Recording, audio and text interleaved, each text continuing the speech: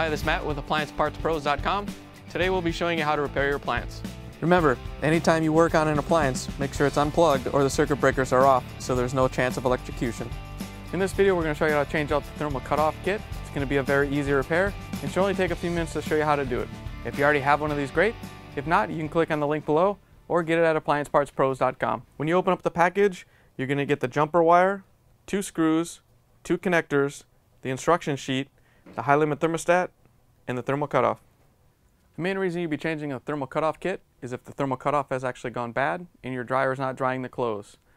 The thermal cutoff is contained in a kit which contains the thermal cutoff and a high limit thermostat and you have to change them both. In order to access the inside of the back of the machine, we have to remove all the screws that hold the back panel on.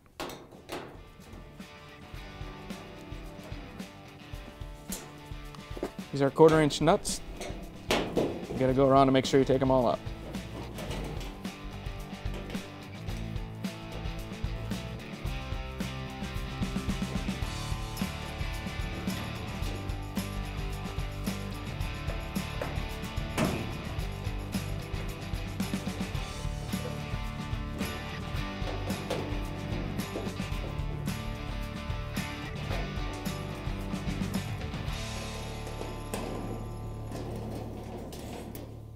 Once you take this last one out, you can remove the small panel.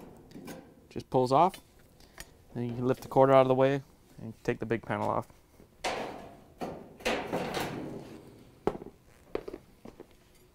This is the thermal cutout at the top of the burner box. We have to take this off first. We can take a small flathead screwdriver and pop off the terminals. If you need to label them to remember which, where they went, you can do that.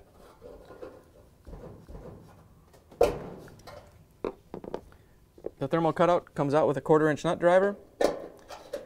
It comes in a kit because if the thermal fuse goes bad, they want you to change out the high limit thermostat also. So now that we have that out, we can go down to the bottom and take out our high limit thermostat. Same thing, take a flathead screwdriver and pop the wires off.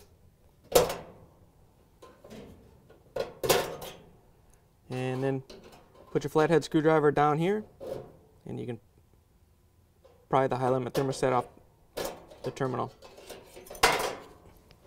It's probably going to fall out because the only thing that holds it on on the top is a little pin that goes through this little hole. Here's the old high limit thermostat and thermal cutoff next to the new ones. If you already have this, great. If not, you can get it at appliancepartspros.com. First, we're going to put in the thermal cutout. It goes at the top of the burner tube. It mounts on this little tab, and the other side is held in with a screw.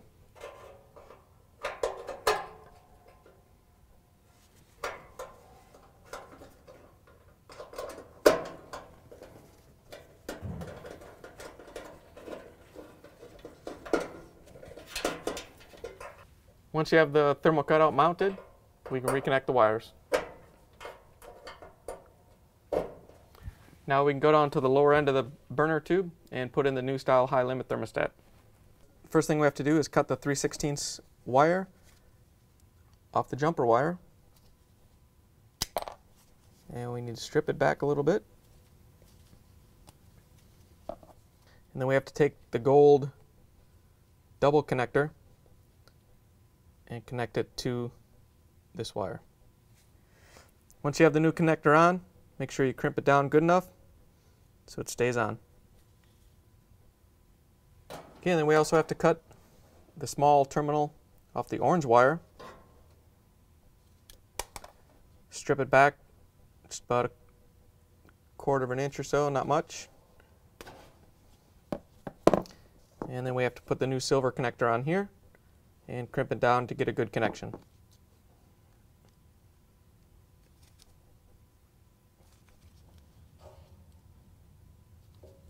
All right, now that we have the wiring changed, we can go ahead and put in the new thermostat.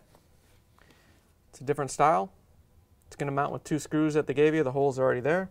The only thing you have to do is it doesn't sit in here properly you have to push this little mounting tab that the other one mounted on out of the way. So just push it up out of the way. Once it's clear, then the new thermostat will sit in there properly.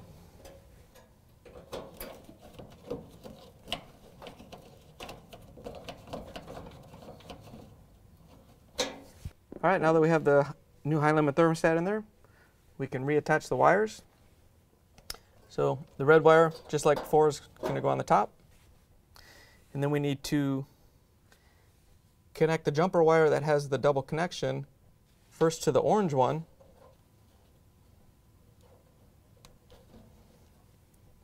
and then onto the bottom of the new thermostat. Once you have the new double wire connected to the lower thermostat, you can take the red wire and connect it onto the heating element terminal. Now that you have everything reconnected, we can put the dryer back together and take it for a test spin. Now that we've replaced the part, we have to put the back panel back on. All you have to do is set the back panel on the vent tube down at the bottom, line up the screw holes, and replace all the screws around the panel.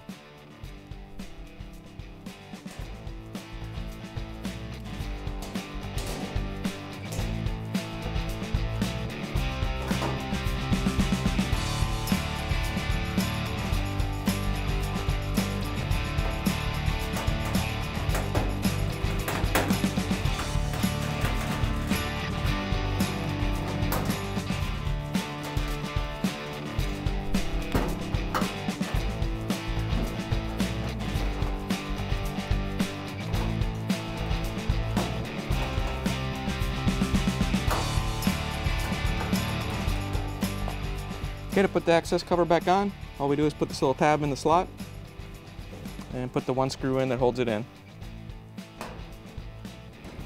Now that we're done repairing the appliance, we can plug it back in and take it for a test spin.